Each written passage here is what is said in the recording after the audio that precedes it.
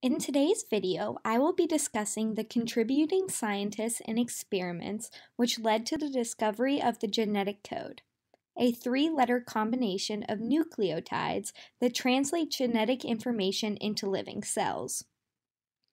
Nirenberg and Matthaei were the first scientists to determine that there was a specific RNA sequence that coded for a specific amino acid.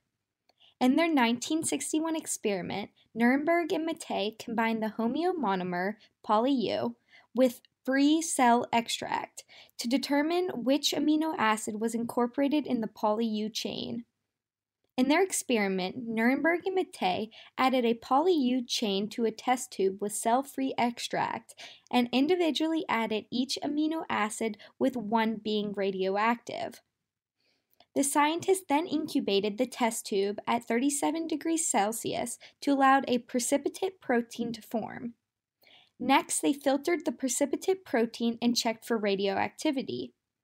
Nirenberg and Matthaei repeated the procedure 20 times, allowing each amino acid to be radioactive. From this, the scientists discovered that poly-U produced a protein chain of radioactive phenylalanine. In an effort to learn more, Nirenberg and Matthaei repeated the entire experiment three more times with a poly-A chain, a poly-C chain, and a poly-G chain. From these three experiments, Nirenberg and Matthaei found that poly-A chains form a protein with lysine, and poly-C chains form a protein with proline. However, unlike the poly-A and poly-C chain experiments, Nirenberg and Matthaei had no success in finding poly-G chain codons. In the end, Nirenberg and Matthaei discovered three codons with UUU, representing the codon for phenylalanine, AAA representing the code for lysine, and CCC representing the code for proline.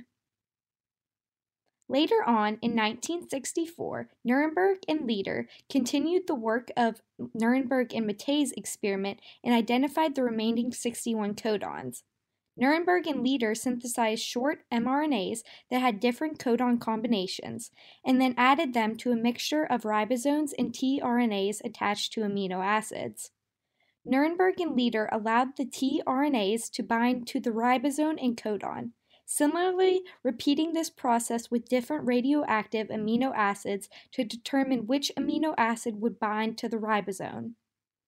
If the tRNA was bound to the ribosome, then the compound, compound was caught by a filter paper. If the tRNA with the radioactive amino acid did not bind, it would pass through the filter paper. From this technique, Nirenberg and Leder discovered the remaining 61 codons.